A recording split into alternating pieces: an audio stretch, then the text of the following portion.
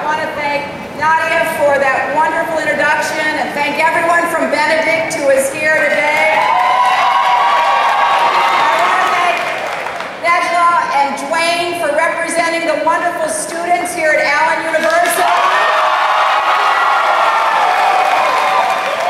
Dr. Young, thank you for welcoming us to this historic campus. It is an honor to be at one of the places that understood early that education was the key, not only for the individual's life, but for our society's life.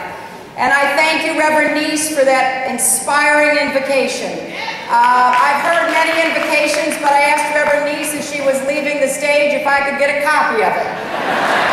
because I do, I do believe that we are disturbed. We are disturbed about what is going on and failing to go on in our country.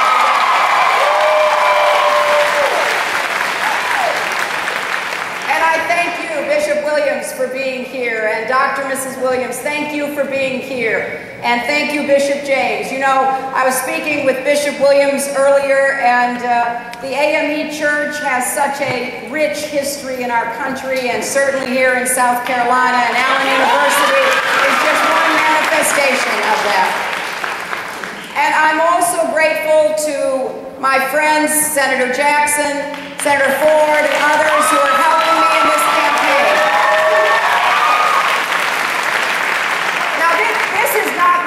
trip to South Carolina. I came to South Carolina many years ago as a young lawyer for the Children's Defense Fund the first time. Back before most of the students and many of the faculty were born, I think. But I have loved coming back ever since. I've had the great privilege, along with my husband, of having so many friends here.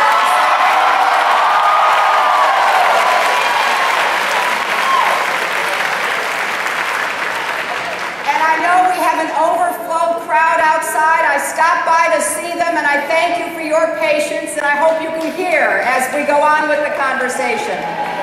But I was... I was thinking this morning that um, I'm very fortunate because I have a lot of old friends in South Carolina. And I'm making new friends, as I have today. Girl Scouts. But if, if you were, you might remember a song we used to sing about make new friends, but keep the old. One is silver and the other gold. now, I, I wouldn't sing that because if you ever looked at YouTube, you see that I'm not the person to sing. I'm not, I am not running to be chosen the American Idol, but to be elected